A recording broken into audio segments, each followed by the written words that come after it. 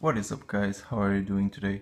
So today I will be showing you two ways of opening an Opinel uh, number 6 and it applies to all the, the ones with the rings uh, to my knowledge.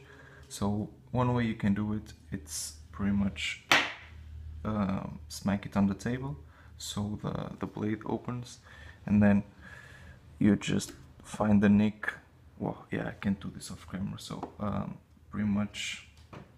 So you go into the edge of a table. I will just use this because uh, my camera setup is kind of uh, improvised at the moment so I can show uh, the table. Uh, so pretty much you go in into the nick of a table and you just use it to open it.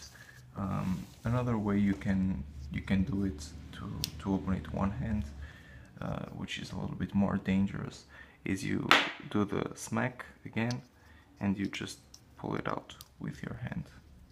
And then to finish off, you just press it on the table. There you go, locked. Um, if you're wondering how I got the these markings on the Opinel, uh, pretty much what I did was I passed uh, mustard um, like uh, with a q-tip on the on the blade. And it got this really cool stripy pattern. It's really nice. This is uh, one of my most carried knives uh, since it's really cheap and it takes on every job like a pro. So yeah, I hope you have enjoyed this uh, really small video tutorial.